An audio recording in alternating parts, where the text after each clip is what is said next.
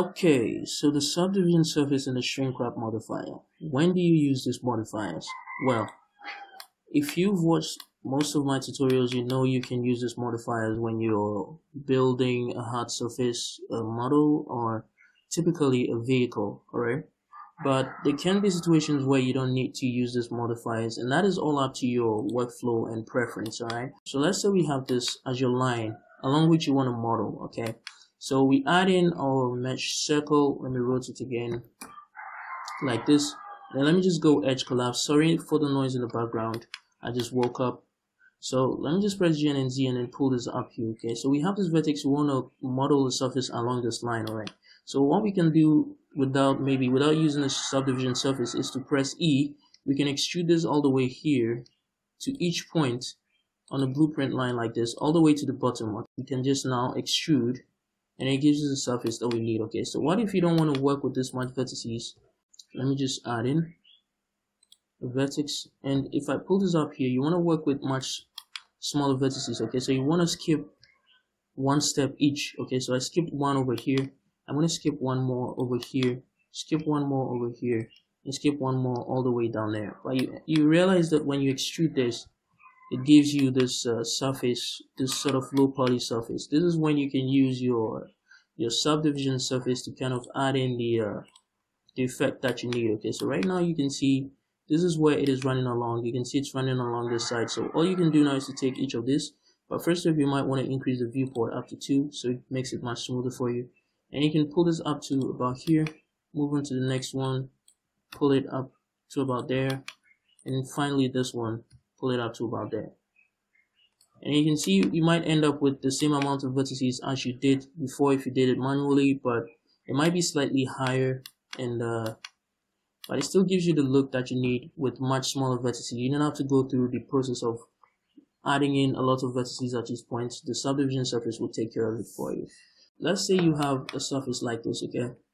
Now the reason it would be best to use a subdivision surface and not model manually would be because if you take you take this for example okay so this is your vertex. Let me just edge collapse this real quick. Press G and Z and then pull this up here okay so if you model if you do this by hand like this okay you have your your blueprint and you're modeling over it okay. So you do it every step all the way of the way all the way down there okay.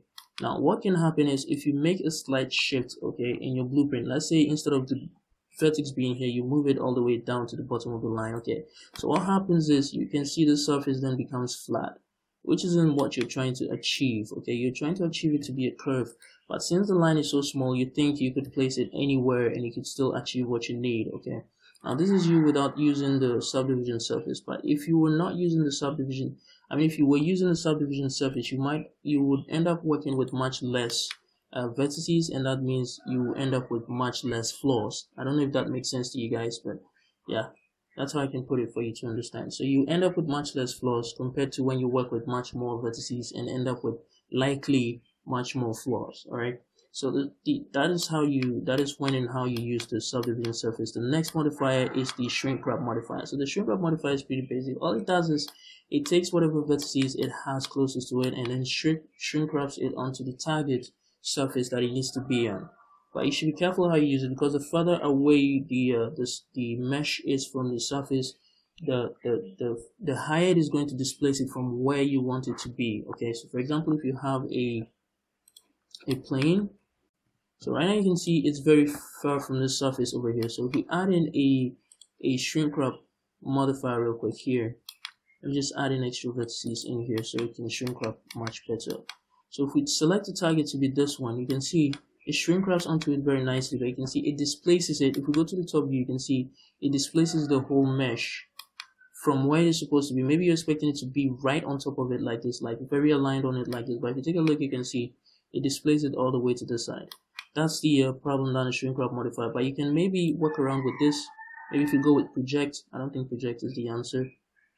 Nope. So you can go, you can play around with this uh, values here to help you get it uh, where you want it to be. But the best way to do this would be to take all of your vertices, change this over to the face select mode, and then enable project individual elements. And what you want to do is go over to the top view or whatever view you want it to align to, and then press G and then hold down control and you can see instantly it snaps onto that surface and then press enter to snap it onto that surface like that. Now if you get out of edit mode you can see shrink wraps onto it very nicely so yeah that's pretty much it. That's the basic thing. And that's all i have for you guys. And uh so that's pretty much it. I'll see you guys in the next video. So if you came here to see the tutorial you can stop watching right here. But I also have something to ask of you guys. And uh i would love if you guys could help me out. The thing is i actually had a channel created before this one and uh, it was a gaming channel. It wasn't really uh, getting the love that i needed to have. So i ended up getting rid of all the videos on there because i wanted i wanted to start over again. But before i did that my friends recommended that i actually start a channel on blender because i was quite good at it and uh, people would like to see what i make. So i didn't want to do it before but they encouraged me to do it. So i created the blender channel and everything went smoothly. When I started before, I didn't have the love that I needed it to, but it was something that I loved doing. I love really, I really loved using Blender, so I just kept on going creating videos. And all of a sudden, before I realized I had over a thousand subscribers and uh, the watch hours and everything that I needed to have my channel, you know, monetized on YouTube. So thank you guys for supporting me, but I would also love it if you guys could support me on my other channel, which is called One Mile Per Hour where I play video games that is a racing video games in specific, no uh, other video games, just racing like Dirt and Forza Horizon and Isle of Man, anything involving racing and auto sports.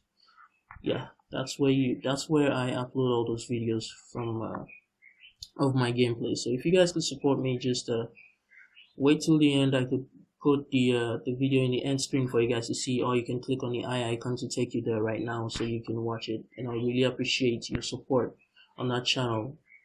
And uh, yeah that's pretty much all I have to say. Also if you if you guys if any of you plays uh Dirt 4 or Forza Horizon 4 or Black Squad Black Squad is an FPS game. If you guys play any of those that is if you're on Steam and you want to join me in my gameplays you can uh you can just leave a comment below and I will give you my gamer tag and then we can uh, have some fun together. Yeah. So thanks for watching. I will see you guys in the next video.